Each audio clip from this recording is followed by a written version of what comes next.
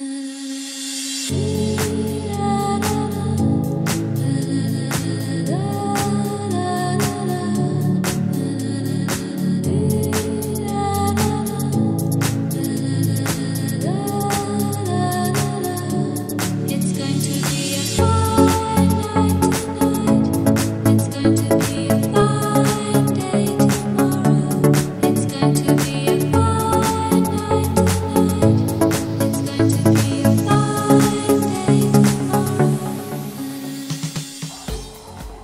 Друзья мои, приветствую вас! Начинается обзор на новый Rolls-Royce Phantom. И в этом видео мы постараемся передать вам все те ощущения, которые испытывает человек, который ездит в этом автомобиле стоимостью, внимания, 45 миллионов рублей. Приступим! Ну и разумеется, так как это у нас Rolls-Royce, топ-лухари, топ-премиум, то здесь даже дверь самому закрывать не обязательно. Мы просто нажимаем на кнопку и попадаем в мир полнейшей шумоизоляции, потому что я слышал, что здесь порядка 130 килограмм шумоизолирующих материалов. И оно, в принципе, похоже на правду. Только прислушайтесь. Открываю окно. У нас появляется шум мегаполиса. Закрываю, и абсолютная тишина. Фантастика. Многие считают, что Rolls-Royce Phantom это машина для того, чтобы ездить сзади. Но в этом видео я бы еще хотел попробовать доказать обратное. Конечно, в этой тачке в идеале, чтобы вас везли сзади, да, и вы весь такой уважаемый сударь, там отдыхали и хорошо себя чувствовали. Но я считаю, что Rolls-Royce Phantom это не только лучший автомобиль для заднего седока, это еще и лучший автомобиль с, точ- с точки зрения удовольствия, которое вы получаете за рулем. Давайте разбираться по конкретике. Сначала мы пробежимся по части вождения, и потом уже покажу вам интересные фишки по интерьеру и экстерьеру. По интерьеру здесь реально много чего есть интересного, так что вас ждет реально насыщенное видео про весьма уникальный автомобиль. Сначала давайте сходу закроем финансовый вопрос. В базе Rolls-Royce Phantom 8 поколения стоит 36,5 миллионов рублей. Но это за короткобазную версию, на которой мы сейчас как раз едем. Если говорить про длиннобазную версию, то ее, цена начинается с, э, по-моему, 44 или 45 миллионов рублей, то есть почти на 10 миллионов выше клиент платит в базе за наличие большего пространства на заднем ряду сидений. Ну и там, соответственно, колесная база тоже более, более длинная. Я чуть позже вам скажу точные цифры. В миллиметрах уж этого сейчас вам пересказать не могу. Ну и, соответственно, у нас, видите, машина короткобазная, 36,5 миллионов на старте. И почти на 10 миллионов рублей вкинули опций. То есть суммы, конечно, фантастические. Тем не менее, это Rolls-Royce, это самый крутой, самый дорогой седан, который только существует. И поэтому такие цены, это, это есть явление нормальное. За, за супер топовую роскошь нужно платить деньги. И в принципе, так как Rolls-Royce как компания поживает отлично, они развиваются, то значит все у них в порядке с точки зрения ценообразования. И, кстати говоря, в скором времени компания, я думаю, выйдет совершенно на другой уровень развития прогресса, потому что они сейчас запускают первый свой SUV, первый кроссовер, который называется Rolls-Royce Cullinan. И через несколько недель я поеду в США на тест-драйв этой тачки, так что не переключайтесь, друзья. Если не подписаны, срочно подписывайтесь на канал и ставьте колокольчик. Впереди много эксклюзива и в том числе тест нового Rolls-Royce Cullinan в Америке. Ну а перед тем, как мы всецело и всесторонне изучим этот новый фантом, давайте ради интереса посмотрим, а какие вообще пробеги у таких статусных тачек. Зайдем с вами сейчас на Авито и посмотрим Rolls-Royce с отчетами из автотеки. Посмотрим на конкретные пробеги, а также на то, как часто там меняются владельцы. Итак, заходим на Авито Авто, выбираем автомобили, затем ставим галочку, чтобы у нас объявления были только с отчетом автотеки, выбираем нужную нам марку, это Rolls-Royce, нажимаем «Найти», и все, перед нами, смотрите, самые разные Rolls-Royce, представленные на Авито. Давайте посмотрим вот этот рейс 2014 года. Я заранее уже скачал отчет автотеки именно об этом автомобиле. Давайте посмотрим, как он выглядит. Смотрите, здесь представлена самая разная информация. Пробежимся по конкретике. А именно, например, есть ли ограничения на регистрационные действия, находится ли машина в розыске или в залоге. Затем, кто и когда владел автомобилем. Далее, участвовала ли она в ДТП, что когда ремонтировалось, когда какие были ТОшки. И даже, посмотрите, есть информация о том, как развивался пробег автомобиля. Автотека от Авито – это действительно полная база данных, в которой можно проверить историю владельцев, ДТП, можно посмотреть пробег и историю обслуживания автомобиля. Если вы хотите купить машину, то обязательно пользуйтесь автотекой и проверяйте историю автомобиля. Ссылка на автотеку от Авито будет в описании. Итак, продолжаем движение на Rolls-Royce Phantom. Мы проговорили с вами основные финансовые моменты этого автомобиля. Теперь давайте же поговорим о том, что вы ощущаете в процессе вождения этого корабля? Прежде всего, хотелось бы обратить внимание на подвеску. Подвеска – это, наверное, главная фишка вообще в целом автомобиля Rolls-Royce, потому что создатели вкладывают огромное количество усилий в то, чтобы вы словно плыли на корабле, да, то есть машина просто безумно мягкая, и она старается самортизировать неровности любого типа, но должен отметить, что неровности типа классических лежачих проходятся достаточно жестко и агрессивно, да, то есть приходится прям совсем сильно снижать скорость. Понятно, что, как правило, здесь ездят э, сзади, да, и за рулем у вас водитель, который, конечно же, снижает скорость перед всякими неровностями типа лежаков, но все равно я был немного удивлен, потому что, с одной стороны, мягко, а с другой стороны, те же лежаки, ну, прям как-то жестковато они проходятся. Вот давайте сейчас проверим. Впереди как раз лежак, вот я сбавляю скорость до 20 км в час, как советуется. Ну, прям как-то как -то, как -то вот ощутимо. Ну вот они, 6 метров нереального респекта. Какая красота. Наверняка у многих из вас появляется вопрос о том, кто же конкурент у этой машины. И в этом плане, конечно, Rolls-Royce красавчики. Реально, конкурентов нет. Ближайший конкурент, если можно его так назвать, это длиннобазный Bentley Mulsanne – но он меньше по размерам, да, он скорее конкурент Rolls-Royce Ghost, младшей модели в модельном ряду Rolls-Royce. И Bentley Mulsanne длиннобазный, он начинается по деньгам с 25 миллионов рублей. Там тоже мотор, как и здесь, 6,75 по объему, новый 8, 512 сил. И если говорить про большую немецкую тройку, то это Mercedes Maybach S650, а, по цене там стартовая стоимость 13,5 миллионов рублей, в V12 6 литров, битурбо 630 лошадей. Ну, S-класс, конечно, совсем малыш по сравнению с этим гигантом. И, друзья, напоминаю, перед вами коротыш. Это реально короткобазная версия нового Rolls-Royce Phantom, хотя он все равно, несмотря на это, такой гигант. Хотел бы обратить ваше внимание на то, что здесь в центральной части колес расположены спиннеры.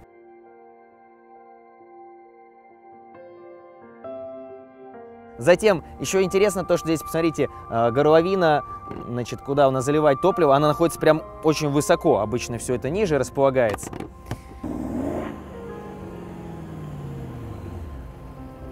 Так, ребят, кто это хулигане тут мешает нам снимать обзор на Rolls-Royce? Привет, как у вас? Привет, парни. Также еще по колесам обратите внимание, то есть, казалось бы, ну не такие уж и большие, но они так вам кажется, потому что в целом тачка очень крупная, да? По факту это 22 тапки. И если сзади у нас скобы, то спереди, по-моему, у нас шестипоршневые суппорта, весьма крупные. По тормозам я не сказал о том, как они вообще, насколько их хватает, не хватает на дороге. Их хватает, но скажу так, моментами бывает страшновато, моментами кажется, что их не хватает, потому что все-таки у нас тормозная система осаживает почти 3 тонны веса вместе с седаками, да? В целом, когда на этой машине вы пытаетесь начать ехать быстро, дерзко, как-то по-спортивному, то вам становится смешно, потому что, как я уже сказал, изначально здесь подвеска, она настроена на такую, на спокойную езду, и когда вы начинаете ехать быстро, особенно заваливать в поворотах, то такое впечатление, будто бы у вас вместо подвески такое желе присутствует, да, то есть машина начинает качаться из стороны в сторону, и удовольствия в этот момент от вождения вы не получаете. Тем самым Rolls-Royce говорит, эй, парень, успокойся, не надо на, на мне закладывать в поворотах тут, а, я не для этого создан. Если вы гоните по прямой, то нормально, в поворотах нет. Соответственно, если у вас там есть желание, грубо говоря, купить эту машину, и вы думаете, что на ней будет прикольно ехать в потоке, это не так. Машина точно не для жиганства. Что касается платформы, на которой построен Rolls-Royce Phantom, это абсолютно новая алюминиевая платформа, которая создана специально для автомобиля Rolls-Royce. То есть, несмотря на то, что этот бренд, он роднится у нас с компанией BMW, принадлежит BMW Group, несмотря на это, есть вот такие вот моменты, которые создаются именно, именно для Rolls-Royce. То есть не будет эта платформа использоваться в каких-либо других брендах. И, конечно же, еще одна из фишек – это вот эта замечательная статуэтка Spirit of Ecstasy. Ну, кстати говоря, по идее у нее есть антиванда... антивандальная система, когда ее пытаются э, схватить и вырвать, то она, по идее, должна спрятаться. Давайте сейчас попробуем это сделать. Надеюсь, у меня все получится, и я ее не вырву. О! Фуф, работает. Немного, знаете ли, страшновато это делать, потому что вдруг еще на бабки попадешь. А, смотрите, как выглядит у нас ключ от автомобиля за 45 миллионов рублей. Но я думаю, будет сейчас тысяча и один комментарий о том, что ну как-то за 45 миллионов рублей ключ немного, наверное, простоват. Да, здесь я с вами соглашусь полностью. Более того, я чувствую, что это пластик, да, это даже не металл.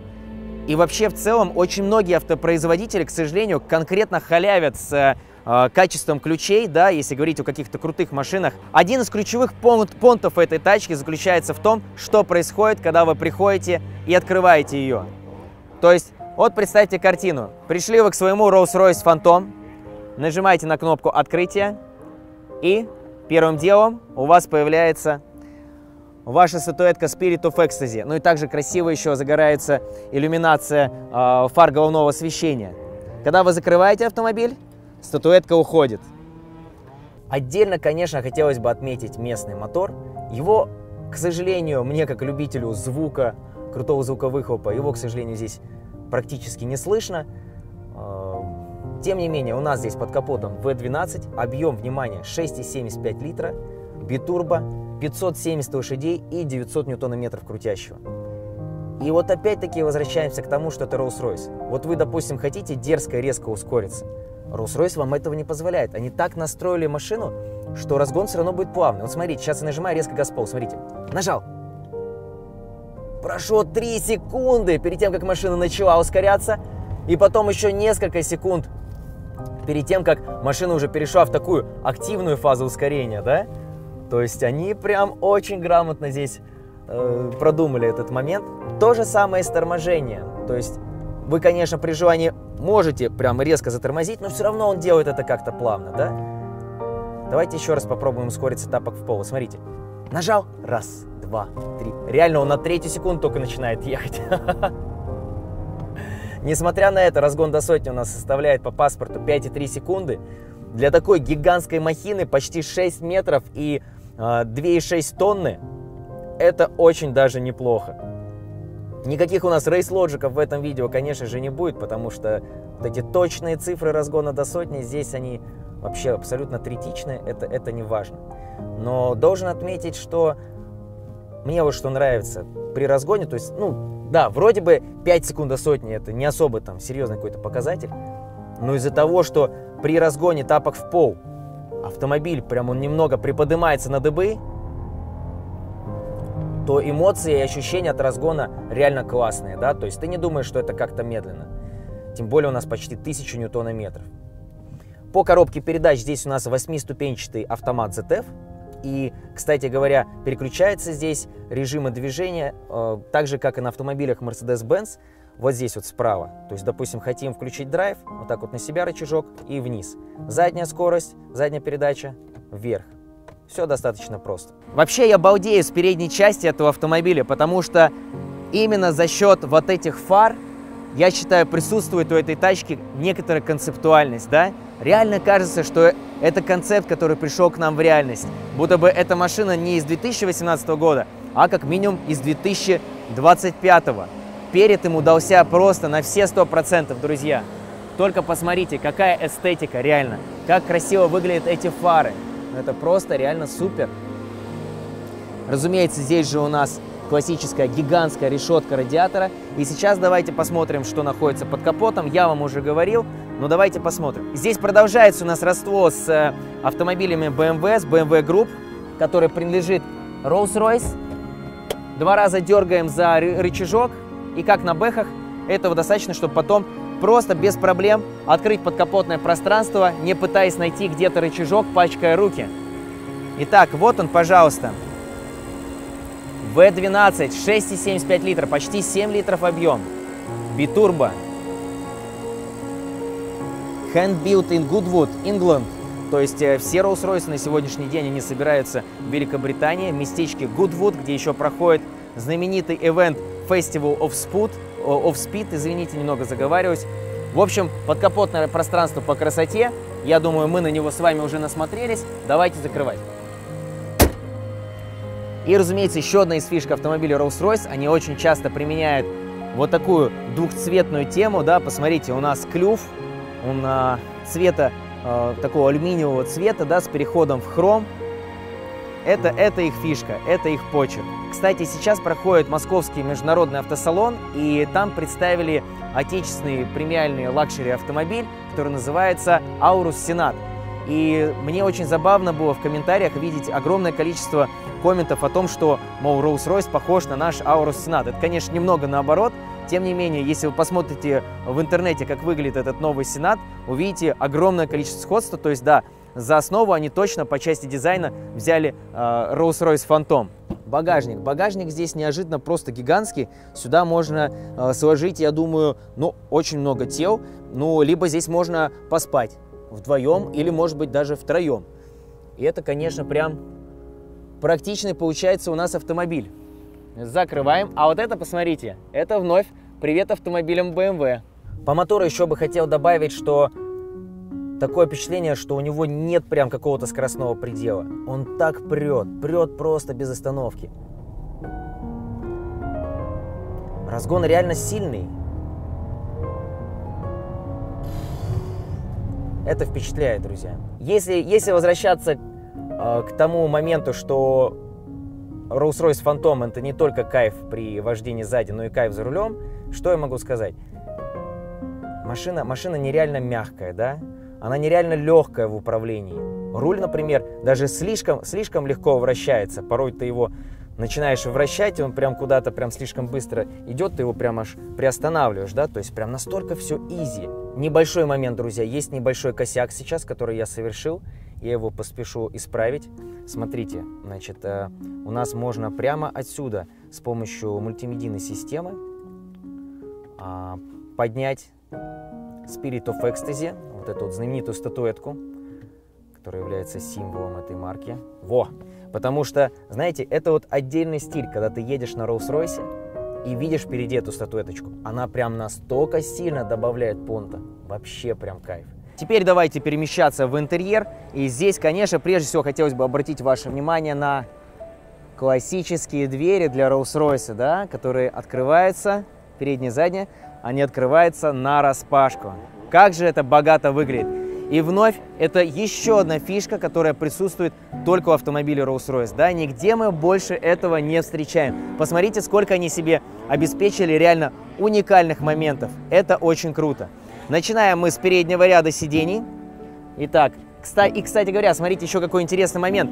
Так как двери очень тяжелые, то чтобы ваш водитель сильно не напрягался, здесь есть помощники. Проводим вот так, и дверь закрывается сама. Ну, да, вот, смотрите. И то же самое у нас, по-моему, и с передними дверьми. Проверка. Да, it works. Стой! Стой! Хоп. Итак, добро пожаловать на борт. Закрываем с помощью кнопки.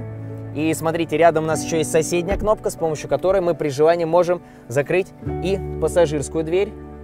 Но мы этого сейчас до конца делать не будем, потому что здесь у нас Александр Пелевин, с которым мы сейчас снимаем для вас это видео. Итак, что здесь бросается в глаза прежде всего? Ну, лично мне здесь бросается в глаза вот эта мультимедиа. И посмотрите, здесь, э, ну, кажется, что мож, можно до нее дотронуться, но нет. Здесь стекло, которое мешает это сделать. И у меня, э, значит, мультимедиа бросается в глаза прежде всего потому, что сходу видно, что это вновь BMW.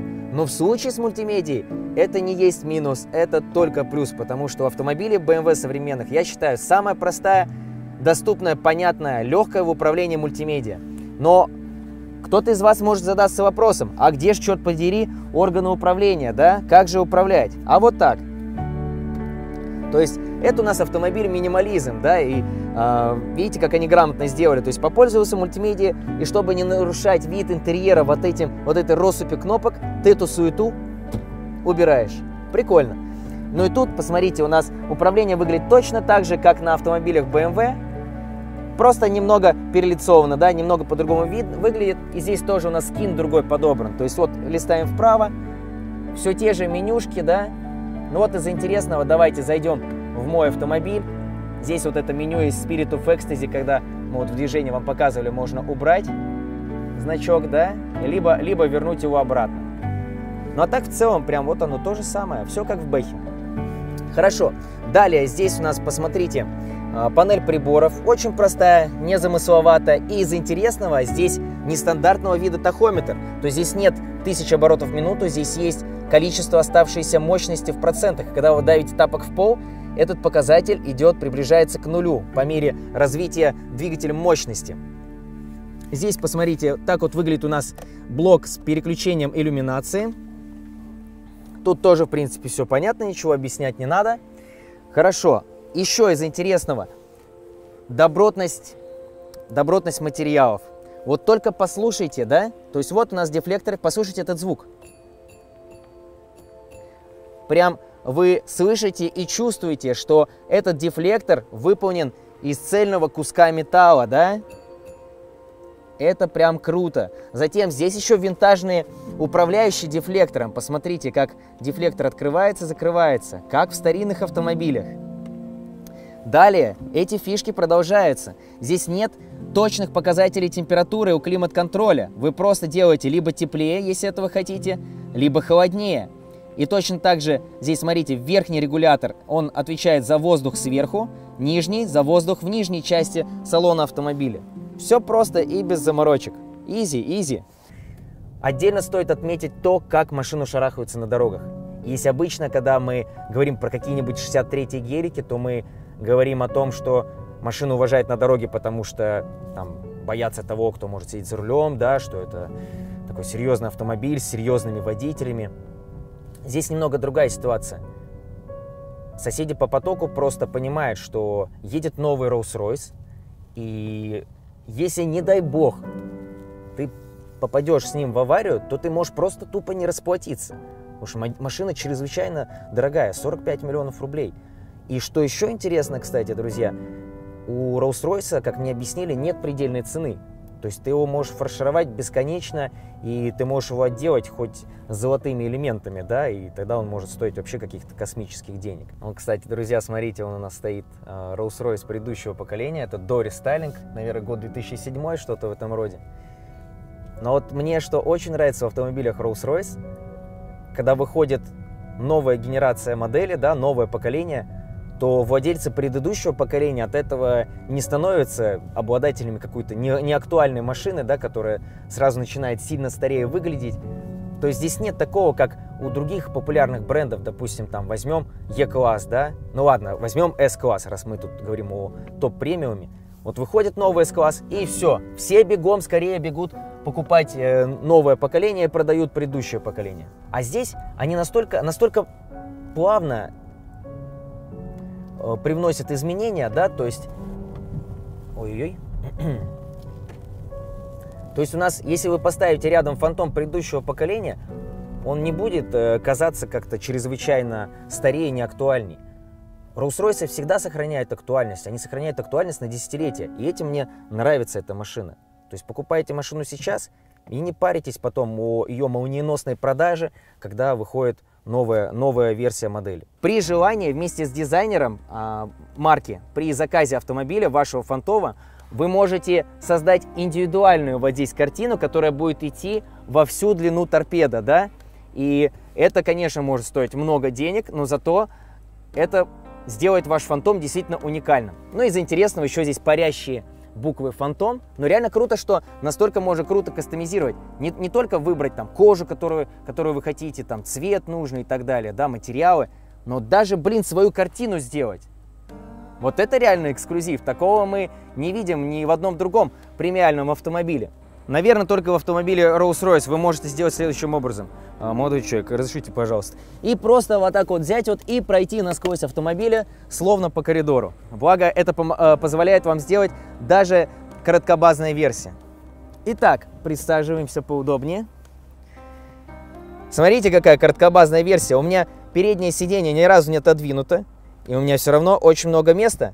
Теперь, значит, что из интересного здесь? Нажимаем на кнопку, и у нас опускается столик. По факту, я пробовал сегодня на нем работать. Работать вообще неудобно, потому что вы как бы сидите здесь, а столик у вас вот здесь. И, ну, если сюда поставить ноутбук, это абсолютно неудобно. Если iPad для просмотра видео, может быть. Затем, смотрите, достаем экран, и у нас здесь дублируется мультимедийная система. И здесь же, внимание, есть дублирующие органы управления. Здесь сзади мультимедиа, разумеется, она в более урезанном формате присутствует. Но все равно вы можете посмотреть какие-то моменты по автомобилю, а, по навигации, сколько вам еще ехать. И здесь же можете управлять мультимедийной системой, чтобы водитель там особо не увлекался своими музыкальными предпочтениями, чтобы вы включали ту музыку, которая вам нравится. Если вы звезда и вы очень утомились от фанатов, которые бьются вам в стекло и фотографируют, да, вот отсюда фотографируют, вспышки софитов, больше невозможно, вы делаете следующим образом. Раз, но тогда они начинают пробиваться сзади. А вы сзади вот так вот кнопочку еще нажимаете. Опа! Все, и наслаждайтесь звездным небом. Неплохо, очень даже неплохо. Дверь открывать неудобно. Но опять-таки, когда вы на Rolls-Royce Phantom ездите сзади, вам всегда водитель открывает дверь.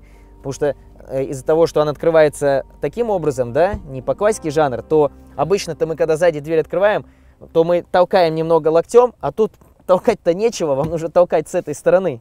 Дорогие мои, на этом мы завершаем обзор на Rolls-Royce Phantom восьмого поколения. Пишите в комментариях, что вы бы хотели, чтобы мы еще показали в этом автомобиле, потому что я планирую брать ее на небольшие тест-драйвы и в будущем, потому что, блин, на ней так круто ездить, так здорово делать контент в Инстаграм и на YouTube. Вообще просто супер кайф. Кстати говоря, по ссылке в описании вы можете найти первый влог, когда я только забрал эту тачку. Там есть поф-ролики, когда я наваливаю за рулем в темноте. В общем, тоже очень прикольно получился материал, такой легкий. И по-братски дружественно прошу вас пройти по ссылке в описании на автотеку, да, на, на, на спонсора нашего выпуска. Перейдите, пожалуйста, по этой ссылке, посмотрите, как выглядит автотека. И тем самым вы нам очень поможете, потому что благодаря этим людям как раз-таки отчасти тоже вышел этот выпуск. И отдельное спасибо представительству Rolls-Royce в России, которые предоставили этот фантастический автомобиль на тест-драйв, эту крутейшую, топовейшую тачку, которая стоит только, вдумайтесь, 45 миллионов рублей. Это ж, это ж где-то 600-700 тысяч долларов. Вообще невменяемые деньги для меня, как для человека э, достаточно простого, да, и только подумайте, это ж как нужно круто зарабатывать бабки, чтобы позволить себе купить такую машину в семью, да, и это там вторая или третья машина. Это нужно быть каким-то вообще капитальнейшим красавчиком. Мне бы очень приятно сделать для вас обзор на реально лучший седан, который существует в мире на данный момент. Это реально самый, самый крутой четырехдверный автомобиль. И это просто уникально. Даже, даже не хочется с вами прощаться, друзья, потому что реально тачка такая крутая, такая топовая. Я от души вместе с Сашей мы сегодня искренне постарались передать прям все ее самые интересные моменты. Не знаю, насколько это здорово получилось. Будем ждать от вас оценок в комментариях. Вот. Ладно, все, не буду более занимать эфир, а поеду прокачусь-ка еще немного, пока еще есть время. Вот. Друзья, все, увидимся. Спасибо большое. Переходите по ссылочкам в описании и ставьте лайк этому видео, если понравилось. От души для вас постарались. И, кстати говоря, мы еще снимали очень угарное видео, где пробовали на этой тачке покатать туристов и э, прохожих. У нас получился жесточайший там провал. И это видео тоже уже есть в разделе, э, в разделе видеороликов, так что зацените, что у нас получилось. На связи!